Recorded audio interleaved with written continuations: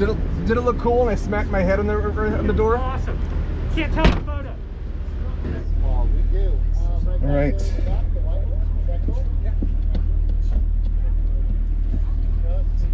Okay, so you ready to go on your lap? Uh, I am in about three seconds. Yep. Just have to push the button on the sides. And you can head up behind the yellow Supra right there and just wait for him to lead you out. All right, thank you. All right. My first ever drive at Eagles Canyon Raceway. First ever drive in a three liter Supra.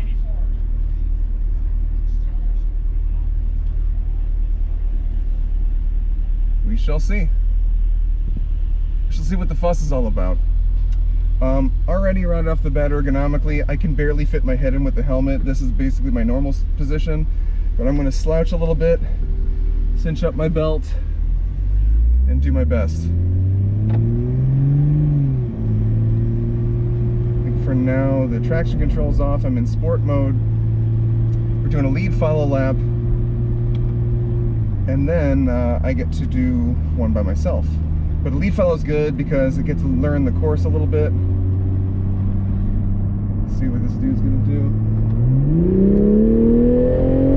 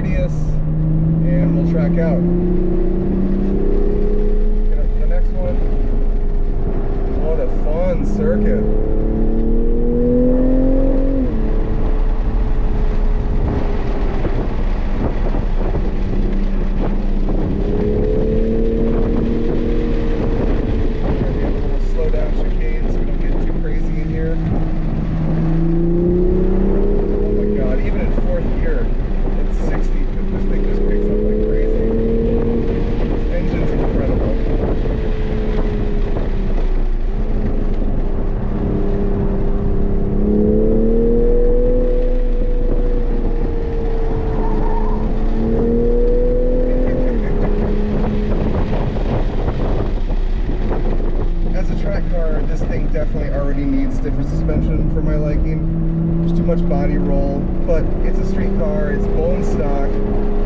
It's pretty great considering that it's it feels very capable on here. And there's a lot of mechanical grip. Once it gets a little settled over on the side, it feels like it's glued to the track.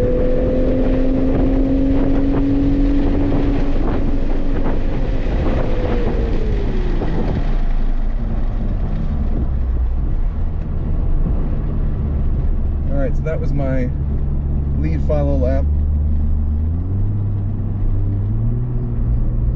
And now I'm going to drive myself around. And remember, I don't know, 13 turns? Yeah, no problem, right?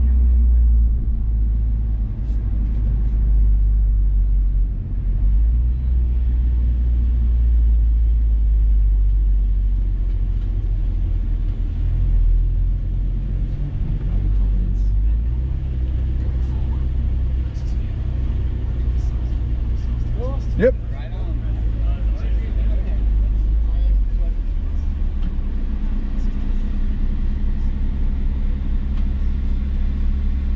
And I'm in holding pattern. The circuit is super hilly.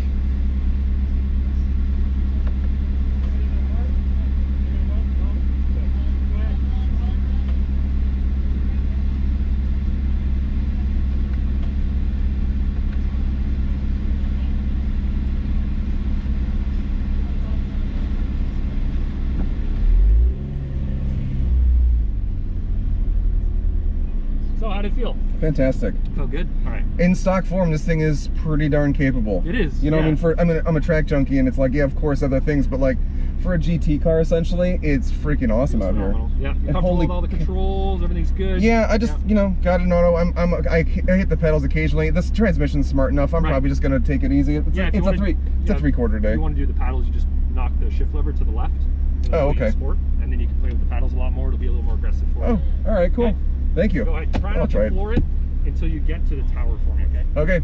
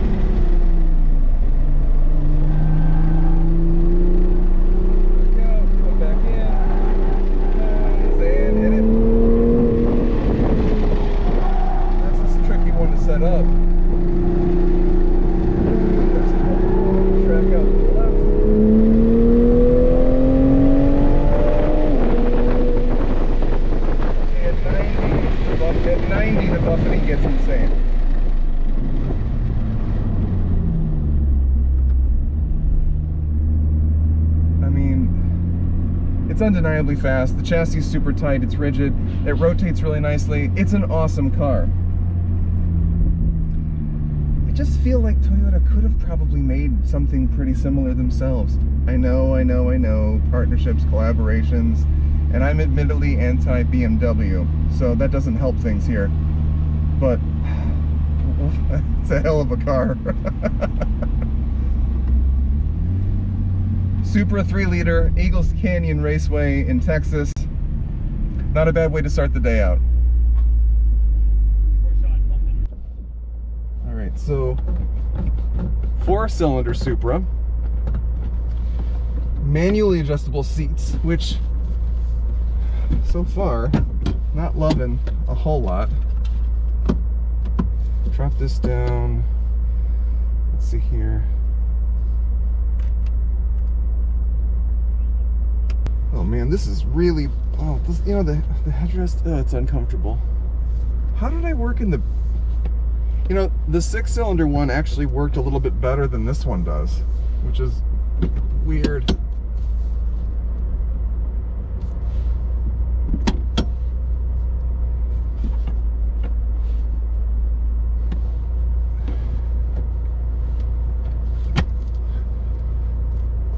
Well, I'm just going to be uncomfortable for a little bit, I guess.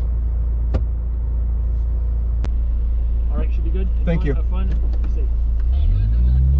Nothing, nothing, and it kicks in at three grand like crazy.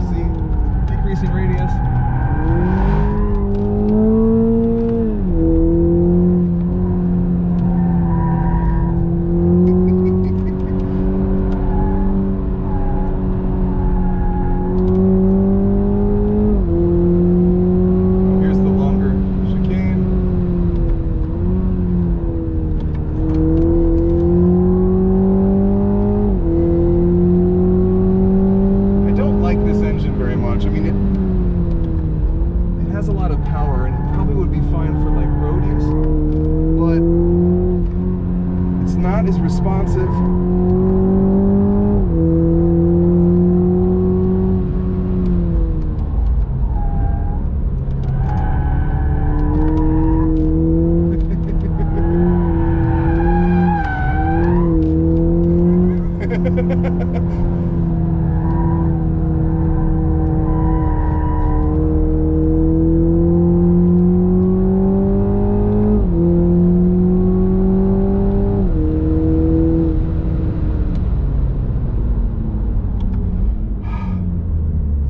I'm torn. I really do like the dynamics of it, but it is nowhere as good as the big one. The big one kind of command the 3 liter kind of commands respect with its power and its and its capability to the point where you kind of don't want to lead into it as a hard whereas this one kind of feels nearly toy-like like an FRS. The balance is better and it feels more neutral. But the engine is just sort of okay. I mean, I don't really love four-cylinder turbos all that much because of this sort of, you know, uh, wait for it, a small block of torque, and then upshift early. And on a track, you know, you want to rev out a little bit more. That six-cylinder Supra behaves more like a naturally aspirated. The throttle response is better. There's power all over the place, and it builds more. It feels more naturally aspirated. It's a way better engine, and not just for power, just characteristics just characteristics and the, the way it feels and drives and is responsive. This feels like the wrong engine in, in a good car. Now, obviously, the perfect weather is, perfect scenario is the engine characteristics or the engine from the other one, but have this balance, but you just can't have it. So they both, they both, um, they both remain impressive packages and there are buyers for each of these as a road car, this would be tremendous. But uh, if you do want to go on the track, I really do think you need the other one, the big three liter.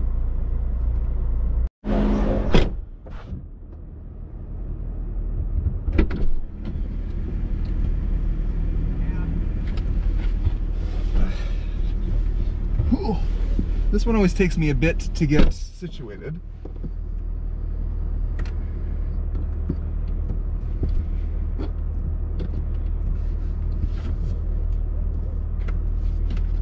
here.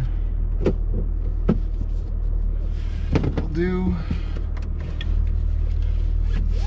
sport mode, traction control off. Okay, so we are in manual mode. Let's go back a little bit.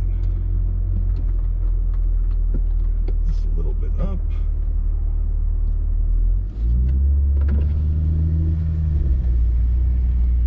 Let's do it. All good, thank you, sir.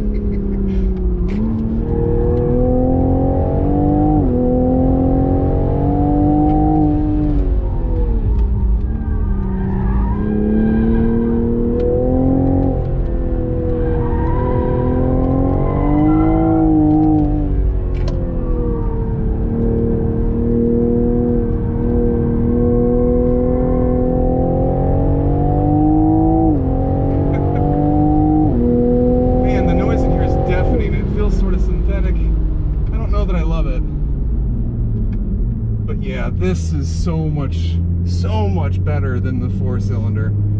Um, the balance isn't good. I feel like I got to be more careful with this for sure. It feels like it'll bite harder and it won't be as progressive. I love the balance of that four cylinder, but that engine is just boring. It is boring. And this one is certainly not boring. The transmission still occasionally fights you. Um, I'm just used to driving naturally aspirated cars and I'm not used to short shifting to get torque. Um, but uh, it's awesome and it just behaves the way you want it to. It's an enthusiast engine and the other one just doesn't feel like it. But um, another hot lap in a three liter Supra at Eagles Canyon Raceway. No complaints. We're having a good day here.